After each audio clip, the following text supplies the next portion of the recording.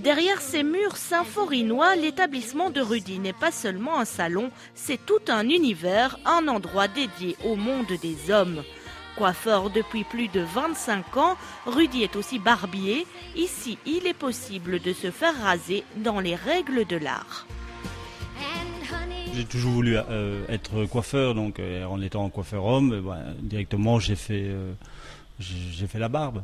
Donc voilà, depuis toujours. La barbe, c'est quelque chose qui est un peu abandonné pourtant par les coiffeurs?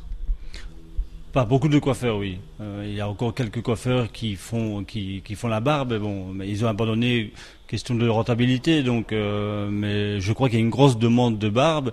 Et je crois que tout le coiffeur homme doit faire les barbes. Qu'il s'agisse d'une coupe d'entretien ou d'un rasage complet, les gestes de Rudy sont sûrs, précis. À l'école, euh, on apprend à raser sur des ballons. Donc on gonfle un ballon, un simple ballon à gonfler, on met de la mousse et on rase. Si on pète le ballon, c'est qu'on n'a pas la main légère.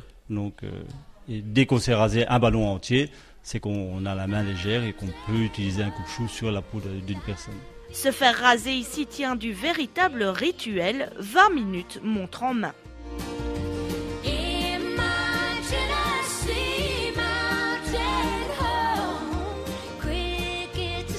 On l'accueille bien sûr, donc on, l'assied et comment là on lui met euh, ses, serviettes. Si ça dépend quel soin il a pris on lui met une serviette chaude s'il faut mettre une serviette chaude. Sinon bon on fait la, mouche chaude. Donc la mouche chaude c'est c'est simplement la, préparation de, de, la mousse de la savonner avec de l'eau très chaude pour bien assouplir le poil parce que quand le poil est bien assoupli on le rase mieux on hérite moins la peau parce qu'on le force moins.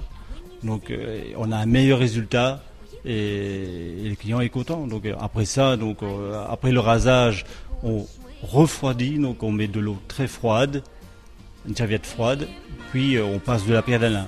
Pour moi, une pierre d'Alain doit se passer tout le temps après la barbe. Aujourd'hui, la mode des barbes est de retour, la mode des très longues barbes même. En Italie, il y a une tendance aux barbes très longues et quand ça vient d'Italie, ben, ça, ça arrive très vite ici. Euh, et, les jeunes ont envie de, porter la barbe, de l'entretenir, parce que bon, ça, prend de l'entretien. Donc une barbe, on la laisse pas seulement pousser, il faut donner la forme, donc il faut, entretenir. Donc ils, prennent euh, des, soins pour la barbe, ils prennent une brosse pour brosser la barbe. Et, euh, il a, il. Donc il y a des gens qui ont un look, donc ils portent la barbe, et, la coiffure qui est adaptée, ça leur va bien, mais il y en a d'autres, on va faire le même, ça n'a rien. Donc je crois que c'est la personne, il faut qu'il ait le look, la barbe et les cheveux qui, qui vont avec.